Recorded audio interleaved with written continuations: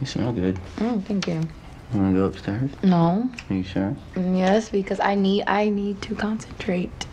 Okay?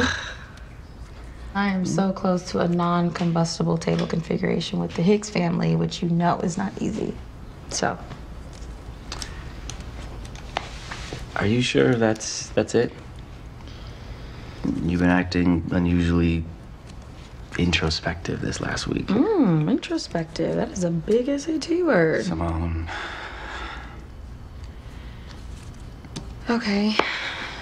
There is something. You're, you're not getting cold feet over the wedding, are you? No, no. But I've decided on Bringston instead of Stanford.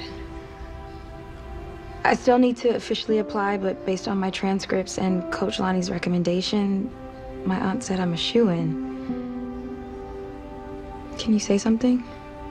Look, I know we talked about the West Coast, but uh, I I'll just. come with you. Wait, what?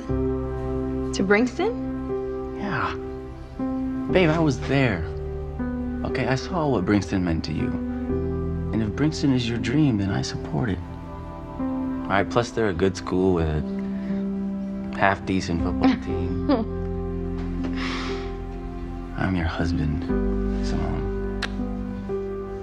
Okay, and wherever you go, I'll be right there with you. Yeah? Always.